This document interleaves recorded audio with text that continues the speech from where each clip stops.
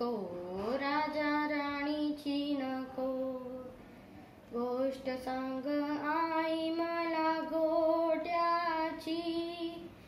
गोट्याची त्याच्या प्रश्नांची.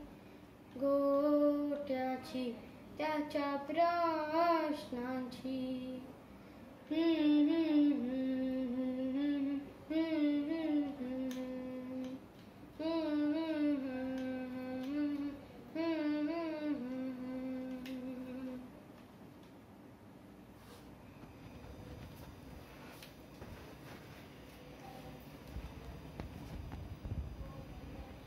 मित्रांनो आज मी तुम्हाला एक गोष्ट सांगणार आहे. माझ्या गोष्टीचे नाव आहे गोट्याचे न संपणारे प्रश्न. मी ही गोष्ट माझ्या पपेटद्वारे सादर करणार आहे. चला तर मग पाहूया. गोट्याचे न संपणारे प्रश्न. गोट्या नावाचा शाळकरी मुलगा होता. तो रोज सकाळी उठून दात घासायचा आंघोळ करायचा आणि शाळेला जायचा.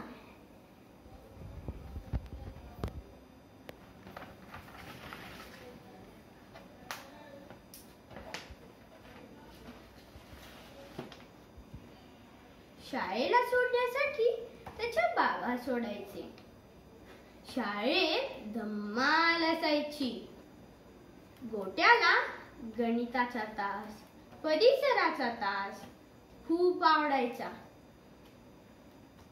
इतिहासाच्या तासाला रंजक कथा त्याला खूप आवडायच्या. गोट्या प्रत्येक तासाला प्रश्न विचारायचा. तास संपला की शिक्षक म्हणायचे गोट्या. आता पुढच्या तासाला आपण बोलू.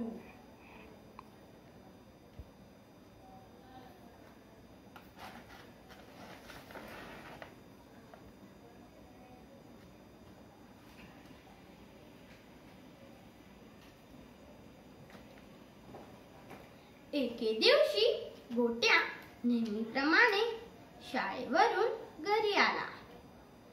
आजीने काही वस्तू आणल्या होत्या. गोट्या म्हणाला आजी काय आणलेस? आजी म्हणाली अरे गोट्या शेंगा. अरे गोट्या शेंगा चुरमुरे फरसण आणले रे. झाले शेंगा तीस रुपये चुरमुरे तीस रुपये, फरसाण पन्नास रुपये। लालाजींनी किती पैसे घेतले? दोनशे रुपये रे. हम्म.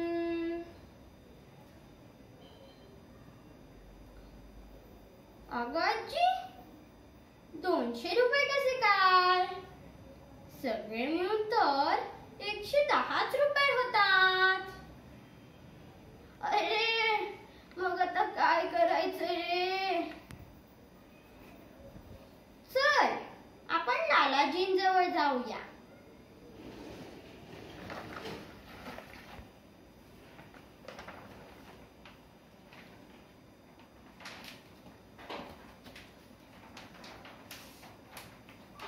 लालाजी लालाजी.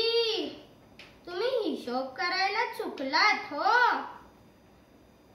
नाही रे बाळा मी कसं चुकणार? तूच सांग बरं. अहो लालाजी शेंगा तीस रुपये चुरमुरे तीस रुपये फरसाण पन्नास रुपये एकशे दहा रुपये झाले अरे हो की माझ्याकडून चुकून झाले असणार? हे घ्या तुमचे पैसे. हे घ्यायची आमचा गोट्या नेहमी प्रश्न विचारतो. कुठे काय आणि कुठे किती? चल गोट्या. चुरमुरे खायचे आहेत ना रे तुला.